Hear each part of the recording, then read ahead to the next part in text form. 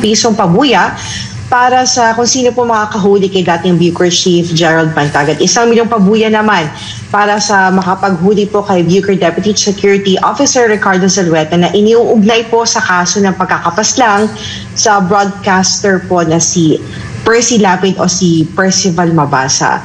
Kayo po, Mayor, kasi kayo po ang uh, kilala niyo po personally po si Bantag ano, at uh, appointing niyo po under your administration. Dapat na po bang sumuko sina Bantag po at Zalueta? Ayaw pa niya eh. Tinanong ko siya kung magsuko-suko na ba tayo. Sabi niya, ayaw ko muna. Ayaw, wala akong magawa kung ayaw niya. Talagang naglabas ng warrant. Meron na ho ba kayong desisyon kung anong inyong sasabihin, gagawin? Alam mo, Tol, kung hindi mag-step down itong si Boying Rimulya talaga, ay hinding hindi ako rin susuko. Bakit ako susuko kay Rimulya? Napakaswerte naman niya. Ano ako? Kahit, alam mo, why the, ano yung sabi yung, ano, the reason why the dodo is dead. Di ba? Kung ganun ako, parang yung dodo na yun, edi, parang nagpakamatay na rin ako. Hmm, tsaka, Anong maasahan mo, Tol, sa ganyang Secretary of Justice? Wala. so talagang, so pag nag-resign, yan. Pwede. Pwede. Pwede, Tol. Ah, Haharapin ko yan. pag nag-resign. So, Alam naman natin na malalaking drug lord sa Bilibid ang nakabangga nitong si DJ Bantag na tiyak malalagay din sa alanganin ang kanyang buhay kung makukulong ito sa Bilibid. I think that uh, marunong ito si Bantag eh. He's a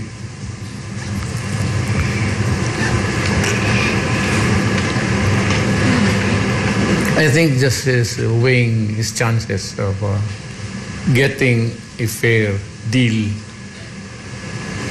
Once he finds out that uh, he can be guaranteed to a talagang ironclad of uh, preliminary investigation or investigation and a good chance uh, sa bagay naman uh, sa mga kay Bantag pati sa ibang all all, all accused people of the Philippines were accused Rodrigo Duterte the chances of a fiscal ang abogado ng people of the Philippines sa court is the prosecutor. Yung defense niya, yung abogado niya. But you know, the chances of getting a conviction dito sa Pilipinas, would you believe it? We'll place it sometimes, depende sa ano. But the cu- current is, uh, it's always 70-30 proposition. 70% gets the acquittal, 30 lang ang makonvict. Hindi lahat nakakun namin na pinoprosecute na convict. Marami ang nakakalusot. Lalo na yung mga estapa, yung mga ganon-ganon. Wala. Depende lang sa agreement yan. And depende lang rin kung sino ang nakarinig sa usapan ninyo. Whether or not uh, there was uh, deception or you were deceived to into entering into a transaction which is not uh, which is punishable by law. Yung mga ganun. Isa conviction naman sa homicide, it's circumstantial, mahirap talaga. Uh, it's very hard to get uh, a conviction based on circumstantial evidence.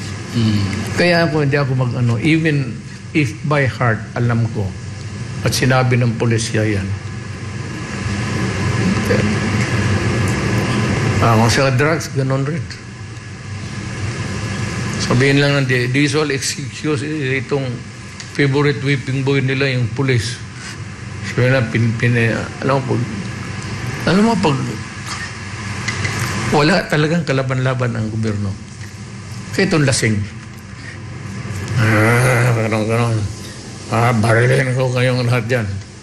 Magdating ang pulis, hawakan ka.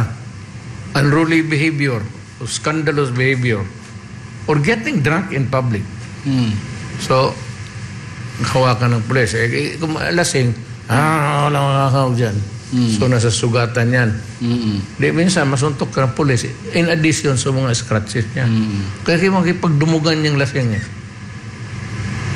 Pag nabukasan, pag nito, doon na yung asawa, ano, punta na doon sa estasyon, may bukol dito, kundi may, may maraming ano, sabihin na binugbog ng pulis. Mm. Usually, ang pulis, sa totoo lang, kung maaari lang, ayaw humawak yan.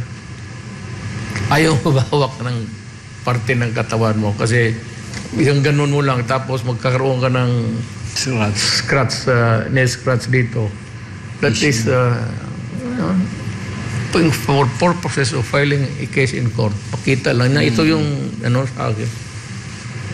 Kaya, ganun ang sitwasyon. It's always in favor of the accused. The presumption of innocence until proven otherwise is a very strong principle dito sa bayan natin. Pati sa Amerika. Kunting pagkakamali lang, sipyat, acquittal yan. Ma, ma, ma- masasabi na niya may kunting pagkakamali lang dyan sa procedure. Even in the matter of arrest. Ano, do- it, it was always resolved in favor of the accused rather than in favor of the government. Because uh, ano is a principle of law natin that it's better to exonerate rather a guilty man. Bahala na. Okay na yan. Rather than convict An wrongly a person. Na. Bahala na ang kamali. Okay na lang. Basta hindi masakripisyo yung inosente tapos na